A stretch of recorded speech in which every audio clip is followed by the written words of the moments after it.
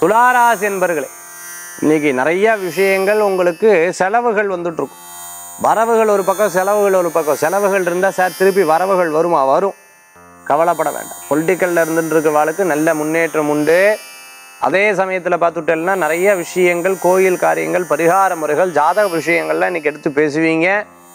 இன்றைய தினத்தில் பார்த்துட்டேன் அப்படின்னு சொன்னால் பின்னாட்களில் சக்ஸஸ் ஆகிறதுக்கு உண்டான சில முயற்சிகள்லாம் எடுப்பேன். அனுகூல்யம் தேடி வரும். பிஸ்னஸ் ரீதியான பல வெற்றிகள் குவியறதுக்கு உண்டான முயற்சிகள் எடுப்பீங்க. யார்ட்டையும் சொல்லாத ஒரு வாகனம் வாங்கணும்.